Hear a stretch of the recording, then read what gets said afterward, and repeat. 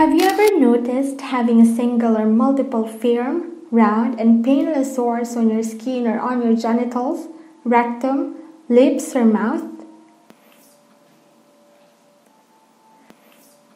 What about having a rough red or red brown rash all over your body, including your palms and soles?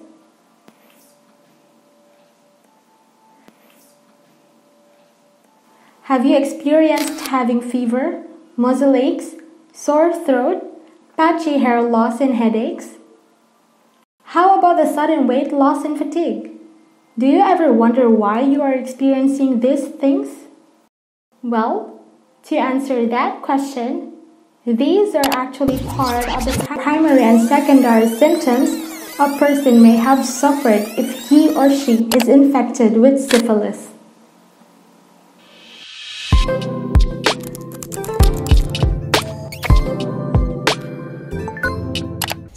Syphilis is a bacterial infection caused by the T. pallidum bacteria. Through direct touch with a syphilitic sore, this bacteria can transmit from person to person. These sores may develop on the skin or mucous membranes of the vagina, the anus, the rectum, the lips, or the mouth. The most common ways for syphilis to spread are through oral, anal, or vaginal sexual activity.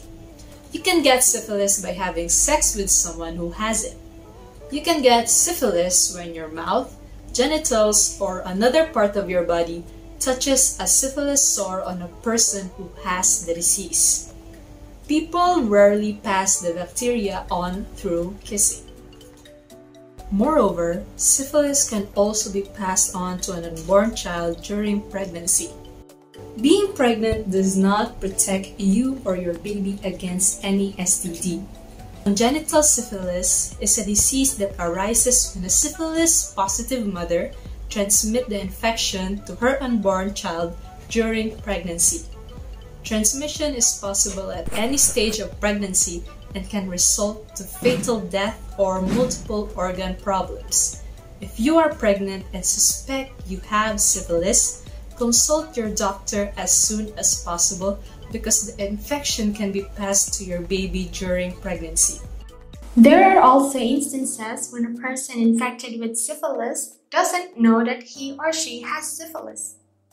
Many people with syphilis are actually unaware of their infection. Even if you don't have any symptoms, you could have syphilis. Hence, you can spread syphilis without even realizing it. To understand more about syphilis and the facts surrounding it, we have invited Ms. Elaine Barre, an STD specialist. When it comes to something like syphilis, it is important for us to separate the facts and the myths to protect ourselves and the persons we love. Here are the most common myths about syphilis.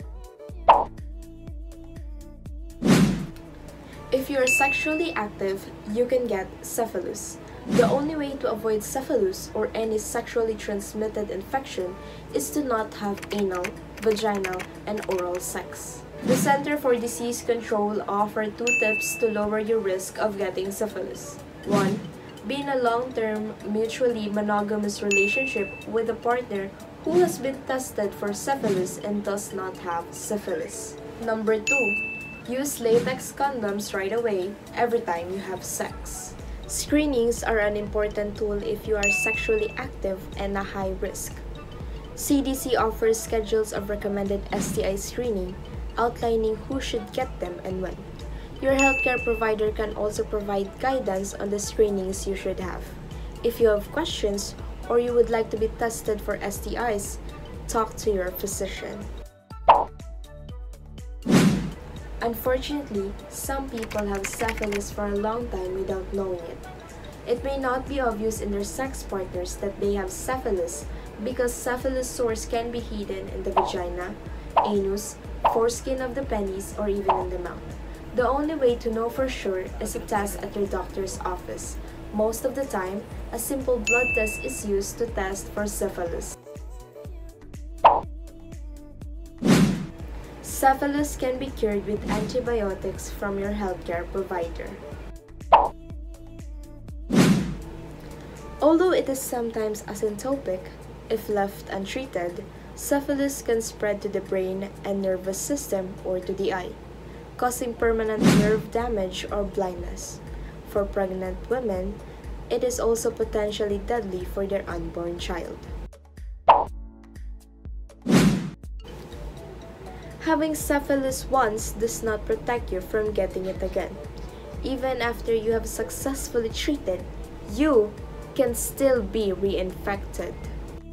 So, if you are having second thoughts and want to find out if you certainly acquire a disease, a syphilis at that, might as well ask your doctor to give you a blood test for syphilis. But of course, before that, you should look out for symptoms, such as a painless round sore that may appear on your genitals or in your mouth.